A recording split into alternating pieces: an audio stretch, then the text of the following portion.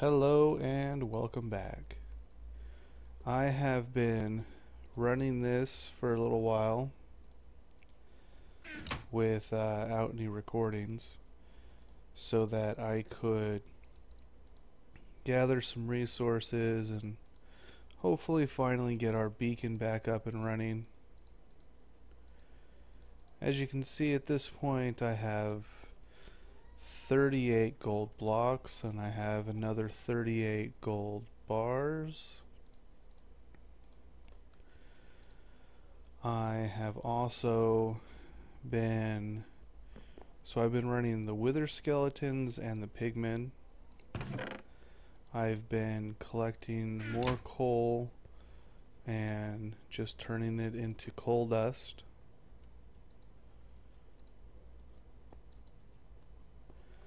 And of course I've collected a whole bunch of gold here. I have come to the conclusion that I need to slightly redesign my mob dropper. I learned this while I was working on the um, oh, just four blocks short. So I was working on the experience farm. And I'll show you what we got with that right now. Also give us a chance to uh, try this out. I removed the uh, the blaze spawner that we had down there. Let's see, that one is number 8.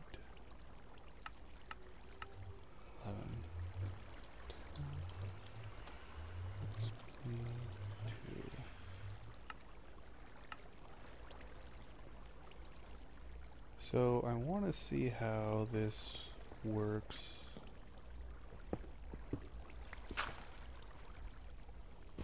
With uh,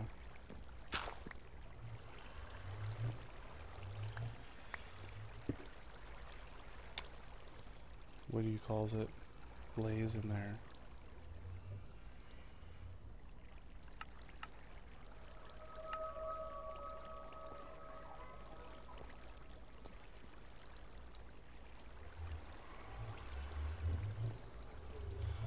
So originally I had planned on this being four different rooms and then each room would have a different mob spawning in it. And you could collect you know four different ones if you wanted to. I realized that I needed more space around the spawners to maximize the amount of spawning and so I had to open up these rooms. And then I came to the idea that we could have four different mobs um, total. So we'll have like two spawners, one on that side and one on this side that will say be blaze. And then we'll have two zombie, maybe two skeleton, and maybe two creeper or withers or something else.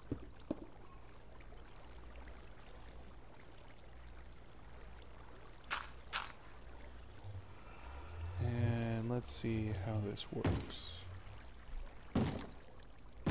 Actually, let's go kill that guy.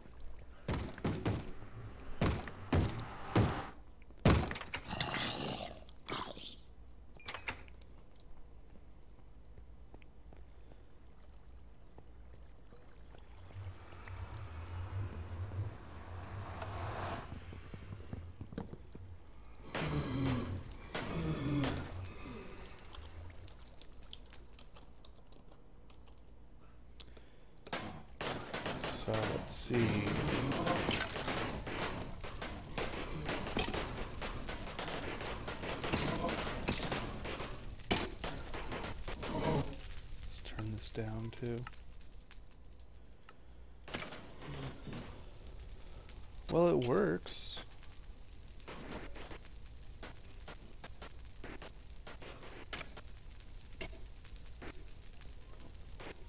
But they jump around. Uh, it doesn't seem like it's an issue.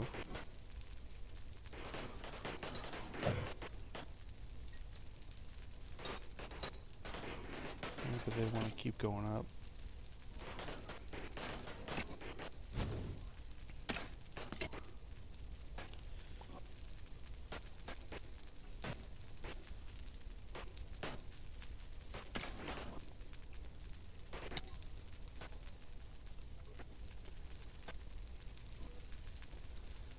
So I'm not entirely sure how they're getting out.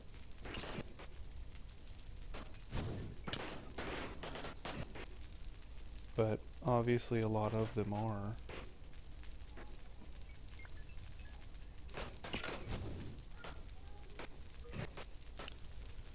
Probably spawning in there.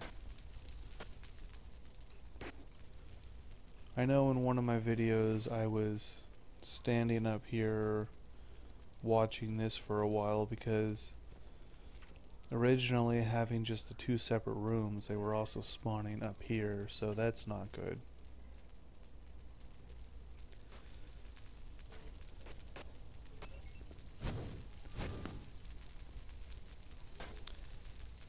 Yeah, I'm pretty I'm pretty sure that he's just or maybe he's not.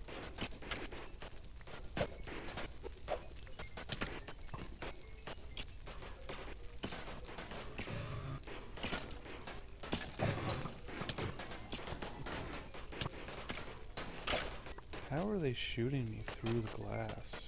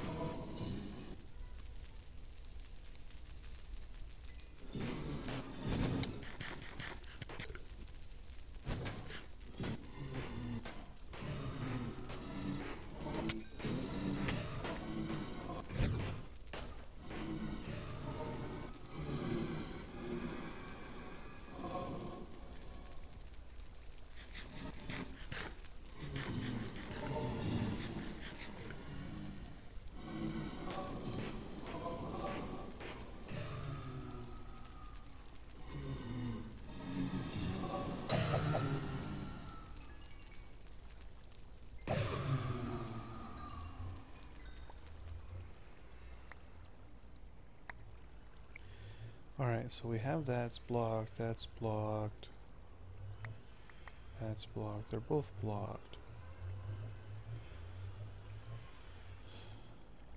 So I'm not sure how they're getting out. They could maybe be forcing each other out somehow.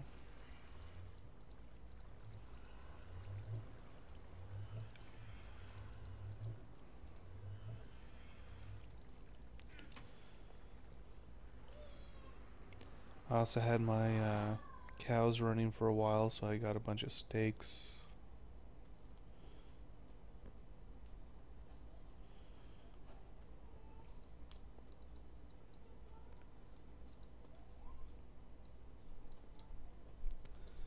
Let's see. Ooh, there we go. We can finish. And we need these.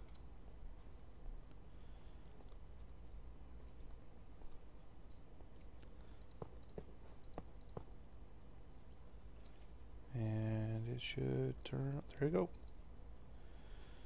So that's still active. We want that one and that one. So really don't need any of these. I can just jetpack with that one. There that should help out.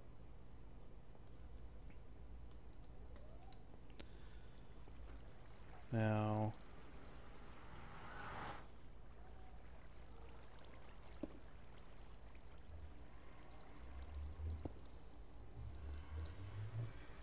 Alright. Let's try this again.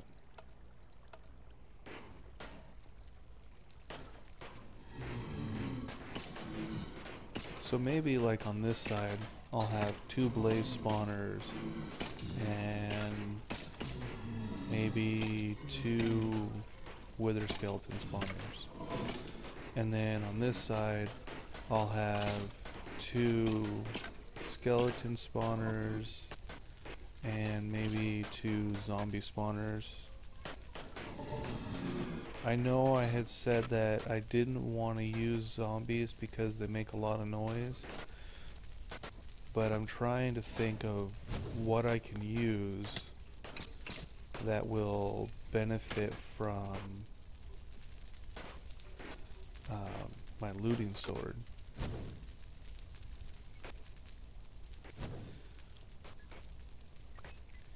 Yeah, it does. It looks like they are forcing their way out of the uh, the glass somehow.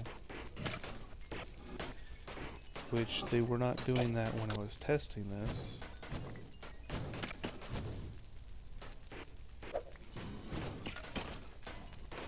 Some of these blaze are trying to kill me.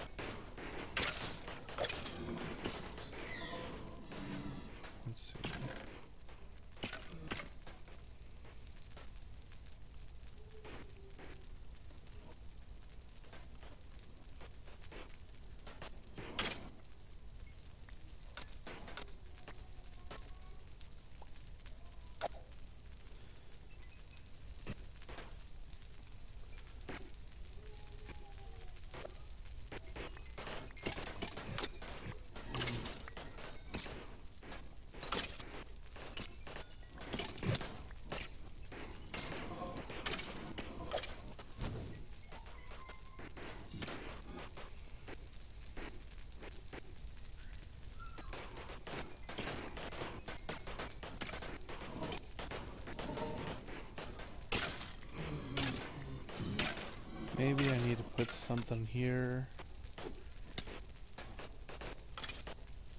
Maybe I just deal with it. I mean, I have this, all these good buffs now for my uh, thing, and maybe be fun having my uh, workstation catch on fire and having to run around trying to save everything.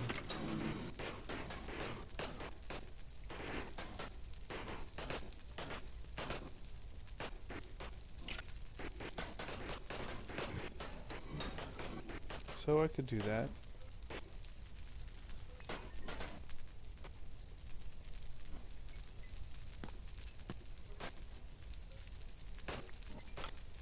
It's not like they can really hurt me at all. Especially not with this uh, constant regen going on.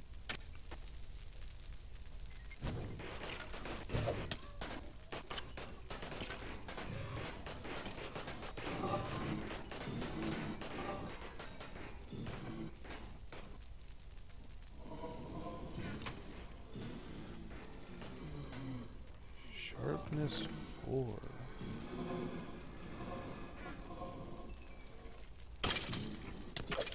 Yeah, he just like walked right out of there.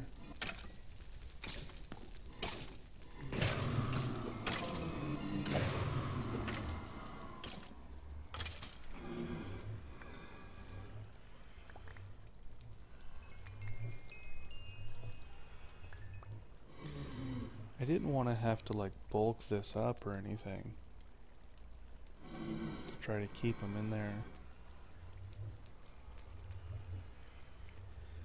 I guess I could always uh,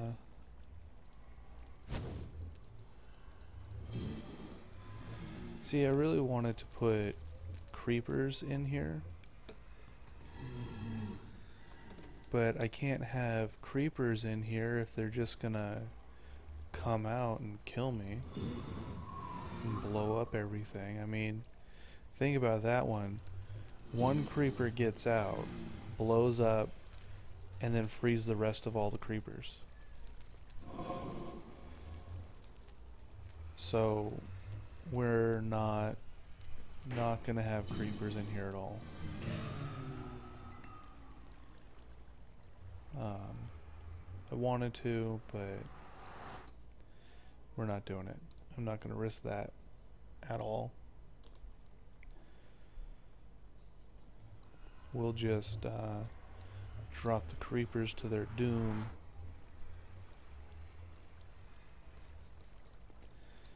So, what I think I need to do to maximize the efficiency of this is bring in, which is going to suck because I already placed my wither skeleton spawner. But as you can see, these guys are dropping at a pretty pretty steady rate. If I was to turn on my cow spawner, we'd get like one for every like two drops of these guys. But what I think I need to do is bring everything down by one block and just go all the way around, right, in a inner square. And then I can have another inner square uh, somehow. So there'll be like an inner square here, so the outside square will be empty then spawners, then empty, then spawners, then empty, and then I might be able to fit one more, or I might have to leave it empty. But that also brings up the question, do I really need that many spawners? So it would be like empty, spawners, empty, spawners, and then the middle would be empty. But, like I said, do I really need that many spawning locations? I could probably get away with just using the uh, the inner six, because it's so it's creeper, pigmen, withers, cows, and then a witch if I can find one and then what? What do I need the rest of this for? I mean, I could always just leave it. I mean, there's just there's just not that many mobs in the game. I uh, I can't drop blaze from here. There's really no point in dropping zombies because without using my sword, I'm never never to get anything from them. Um, the blaze won't take any fall damage, and I can't put any water in there to kill them because then all the other mobs would live. So that becomes pointless.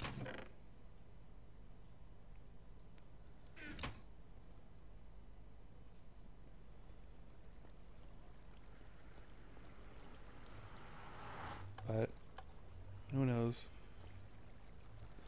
I could always add in two of each kind to increase what I get. I could put sheep in there to get wool. There's really no point in putting pigs in there.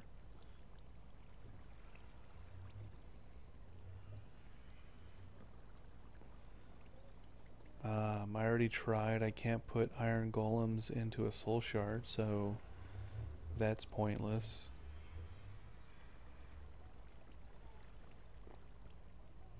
Which I don't understand why you can't do the iron golems. I mean, all of these mobs that I'm making a spawner from, you could, to greater or lesser degrees, go completely out of your way and make this giant building just to to spawn it just like for the iron golems, to get a golem farm, you have to make a villager spawning.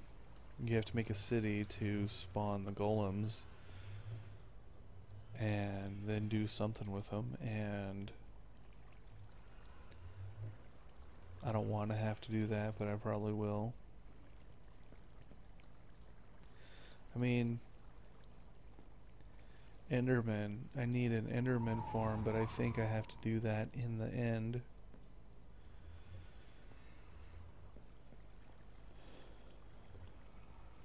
Which will be fine, but I thought I'd be able to do that out here, but I couldn't get it to work.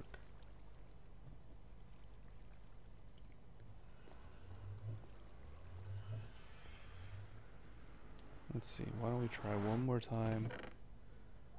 And where's my Enderman? Uh, I think I destroyed it actually. Oh yeah, I need to get slimes in there. So, we built this.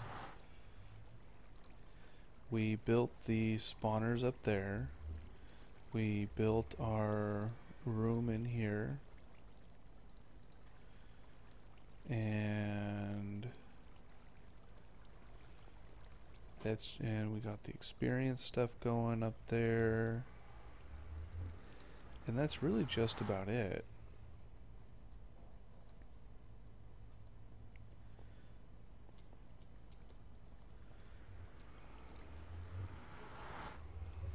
I really like the way this looks, but I don't I don't know. I don't know that I want to deal with the skellies coming out all the time.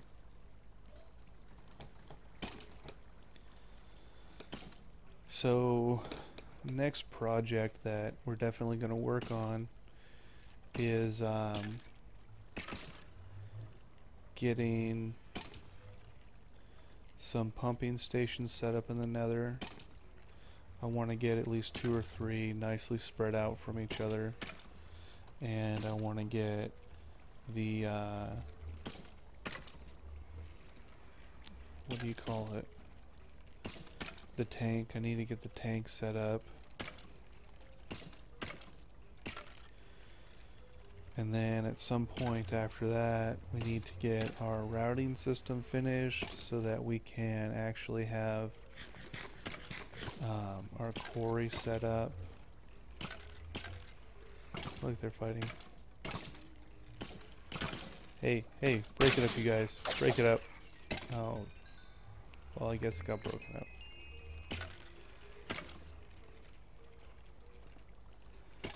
See, this is weird. So, when I had the Blaze farm going, they were popping out.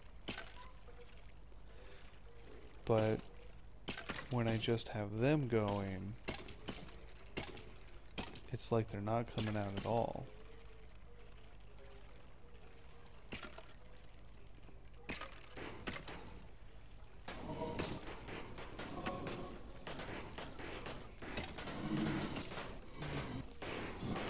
See, look at that. Immediately comes out.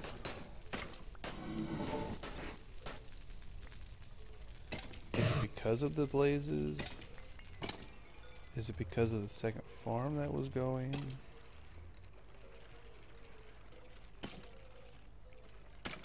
See now we haven't we haven't killed any of them. We just turned off the blaze farm.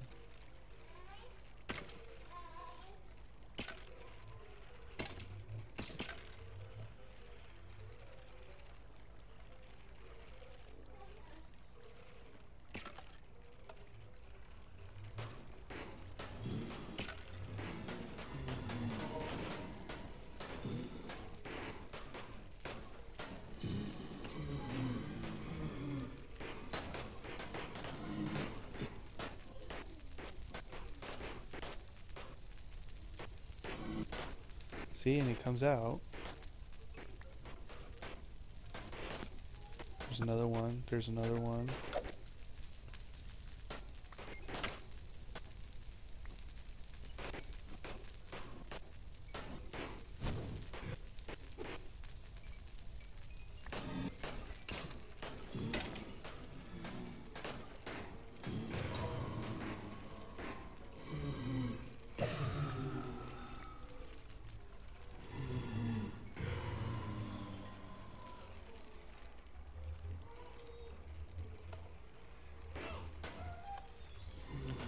Well, I'm gonna go help my kid go use the party. And I'm gonna enchant some more books. I'll see you guys later.